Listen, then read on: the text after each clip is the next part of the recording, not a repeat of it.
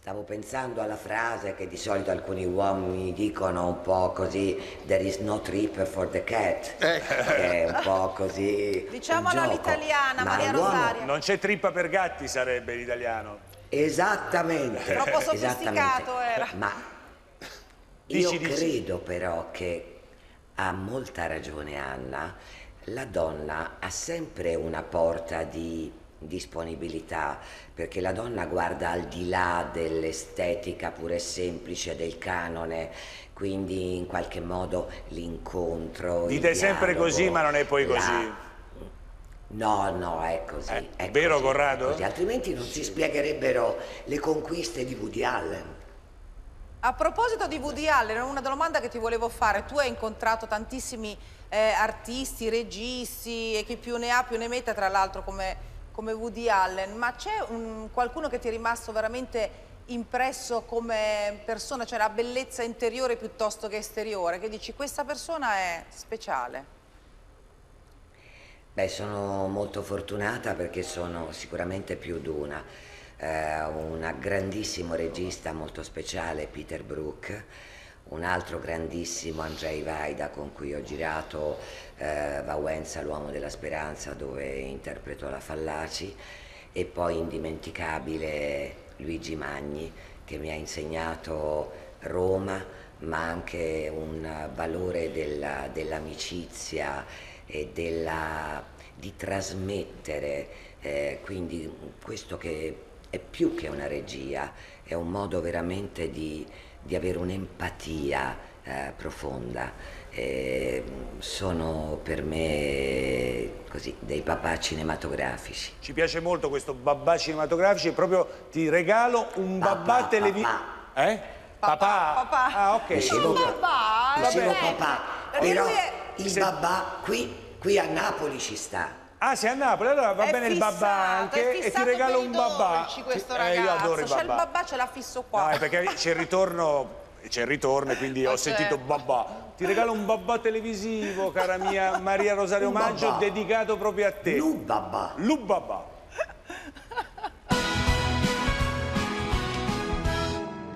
Non c'è niente. Ma che succede? Che succede? Che si è portato via i miei figli.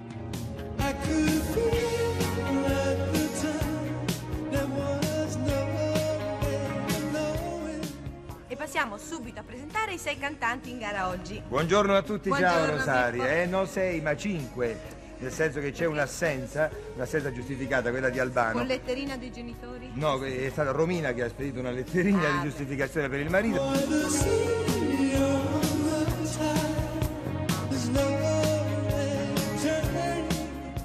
Vorrei tanto, amore, ma c'è troppa confusione.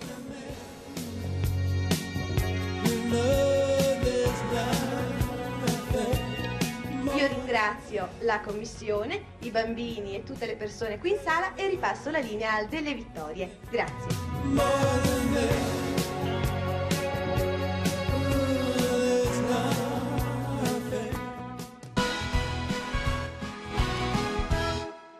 Questo babà per te, Maria Rosaria, ti fa venire, ti fa venire in mente dei momenti speciali della tua, della tua carriera, ma soprattutto, credo, tu essendo una donna di una bellezza, di una classe, di un'eleganza unica, hai qualche, eh, insomma, il tempo che passa per te, come lo vivi? Perché sei bella oggi, ieri e lo sarai domani. Come vivi il tempo che passa? Sto aspettando.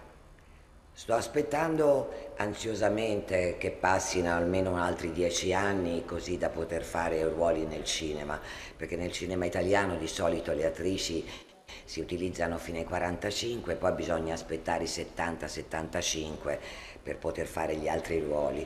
Le donne in mezzo di solito sono penalizzate.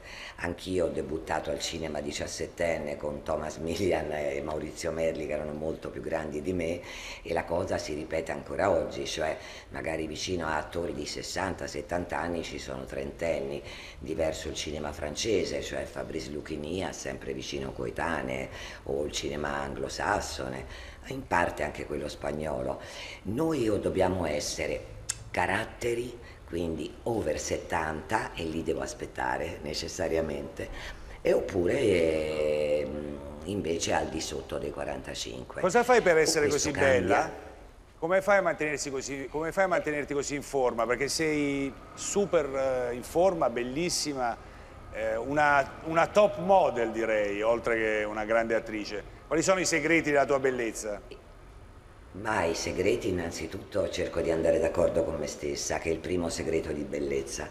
Il secondo è che sono vegetariana, eh, non di quella che impone agli altri, ma insomma lo sono da tantissimi anni, eh, intendo dire 30-40 anni. Ehm, E, poi soprattutto io pratico Tai Chi Chuan, sono istruttore di Cosa, arti cosa? marziali e quindi pratico. Io pratico Qigong e Tai Chi Chuan eh, quasi quotidianamente. Corrado non riesce a capire cos'è? Tipo, ha un, tipo una cosa così, una forma, cos'è, yoga? No. Ah, ecco, ci sta facendo No, vedere. no, no. No, è uno sport, è quella, tipo una... è quella, Sono ignorante in materia è totale. quell'arte marziale cinese Ci fai vedere? Facci vedere che ci Oh. piaceva molto. praticare. Facci vedere Maria Eh beh, Rosaria. eh, adesso da seduta per l'inquadratura mi è difficile, però per esempio, non so, oppure questa, questo. Tai Chi. Che grazia che hai, eh, qui, Scusa, posso farlo dire. pure io? Ci provo pure io. Sto- ci sto, Io- stavo pensando pure io. Com'è? La, la copiamo, la copiamo. Questo è Corrado, dai, collabora con noi. Mi tutti, spiace se vi lascio solo. Dai, Corrado, su. Che devo fare? Tai Chi. Ah, Salute. ah, la, la.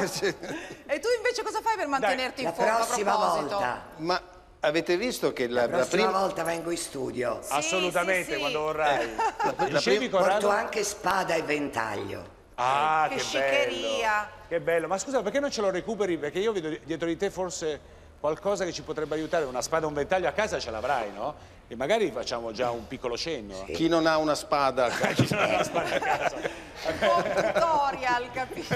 No, ma perché lei è una straordinaria attrice, ha, fatto, ha, interpretato tutti i ruoli, ragazzi. Maria Rosario la conosco e so che Certo, a casa avrà spada e ventaglio. Dimmi, caro, la come prima foto che avete fatto vedere sono- nella mia presentazione ero un ragazzino con la maglia della Sampdoria, io ho fatto il calciatore, quindi insomma Sei un grande tifoso, Quindi vivi eh? di, Stre- sono vivi un di rendita, malato, vivi di rendita, questo vuoi dire? Sei Beh- contento quindi di ieri? molto. Eh? Con la Roma? Queste, eh, che ha perso la Roma, sì. Eh, sei contento per la Samp, dicono? Sì, però l'Udinese era meglio se No, non vinceva. no. Vabbè, però vabbè, niente. Eh comunque, vabbè, ognuno ha i suoi gusti, Stiamo eh. lottando per salvarci, quindi va E benissimo. noi stiamo lottando per vincere, cara Anna. Chi? Noi Juventini. Vabbè, cambiamo argomento, dai, cambiamo argomento, facciamo passare il weekend e ne parliamo, ne parliamo lunedì. Allora, stavi dicendo che praticamente per mantenerti in forma, al di là che hai fatto il calciatore da ragazzo, quindi non è che si può vivere di rendere tutta la vita, ora cosa fai? Allora, eh, beh, corro, cerco di correre e poi sono circondato d'amore, nel senso ho due figli meravigliosi, due nipotini meravigliosi, c'è questo scambio d'amore tutte le sere sul palcoscenico che guarda è una roba che ti veramente ti mantiene giovane, il teatro ti mantiene in forma, eh, perché uno spettacolo, sai quante calorie bruci? A noi lo dici? Eh, appunto, Perdiamo chili al giorno, non prazziamo, non eh, riusciamo a cenare quasi. qui Eh beh, sì, siamo... eh, No, dobbiamo nel senso- Beh, non, non Certo. gli altarini, Beppe. E manca, manca questo contatto pazzesco col pubblico che è uno scambio d'amore spaventoso. Penso che sia lo scambio d'amore più bello che esista, eh, Io sono andato, contatto in, con il pubblico. sono andato in scena in condizioni fisiche in cui una persona sta a letto sotto le coperte e non si muove, e però riesce, il teatro riesce a darti una, delle, delle- niente, sviluppa delle, delle sostanze dentro il corpo quasi anestetiche. Endorfine. Sì, e anche altra roba molto più potente secondo me, per Cioè? cui...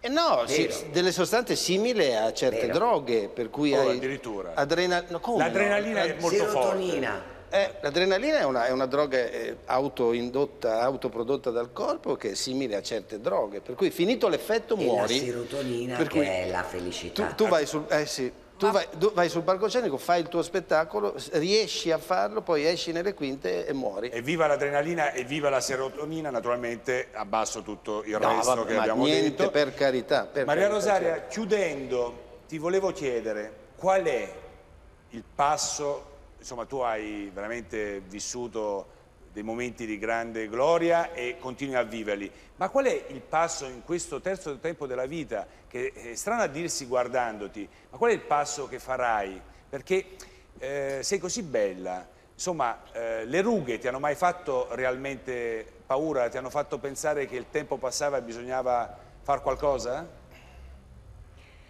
Non ho mai avuto questo problema, io ho interpretato con pochi anni di differenza anche la mamma di un attore in una delle prime fiction dove facevo la mamma cattiva ed era una mamma improbabile vista la differenza di età.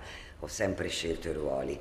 In questo momento eh, è la felicità di fare quello che uno crede di fare e nonostante tutto, anche con la mascherina, riprendo il teatro grazie a Ruggero Cappuccio che ha fatto partire Napoli Teatro Festival e Scarpe Rosse racconterà con la danza, con eh, i ragazzi della Moving Beat, la meravigliosa coreografa Antonella Perazzo, con eh, la musica antica inserita in quella moderna di Gianluca e Mario Perazzo, con Pino Quartullo, tutti gli uomini, tutte le donne eh, perché è importante, la memoria può correggere il presente.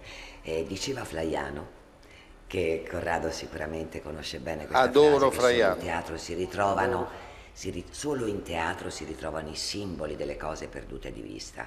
Qual è l'unica cosa che durante il lockdown purtroppo eh, ci, ha, ci ha destato dalle notizie che erano solo e sempre per la pandemia? Purtroppo il femminicidio o la violenza di genere. E e quindi è- questa esigenza di raccontare la storia, perché in realtà non si tratta di forsennati o di così qualche eccezione causa dei tempi moderni, ma ci sono documenti che risalgono all'antica Roma, fino al Medioevo, poi il Rinascimento e poi la Rivoluzione francese e poi ancora oggi. Maria Rosaria, noi siamo, noi siamo molto vicini alla causa perché chiaramente il femminicidio è un dramma enorme e invitiamo tutti gli uomini ad aver rispetto delle donne naturalmente verremo a vederti a teatro perché è uno spettacolo sicuramente molto significativo e che eh, ci aiuta a riflettere. E non di qua- triste. Non triste affatto, ci, fa- ci aiuta a Ricordiamolo riflettere. che debutterà il 5 luglio, Il 5 dopodomani. luglio ci quindi. aiuta a riflettere su quello Nel che... cortile Grazie, ci aiuta a riflettere su quello che... Palazzo Reale. Ok, ti ringraziamo Maria Rosaria. Un Grazie di essere bacio. stata con noi.